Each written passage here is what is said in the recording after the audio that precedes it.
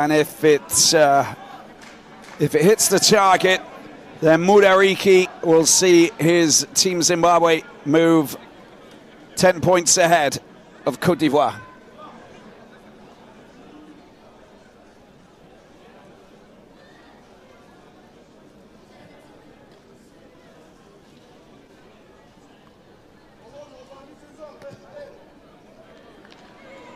The kick's good, the flags go up, and it is, in fact, a, a 10 point game. Fans from Zimbabwe happy here.